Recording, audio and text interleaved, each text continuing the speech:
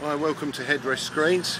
This is a Mercedes 320 and in here we've put in a pair of 9 inch screens with zip covers and that obviously also comes with the remote controls and two um, wireless headphones.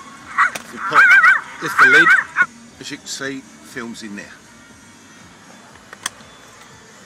We just insert the film and away we go.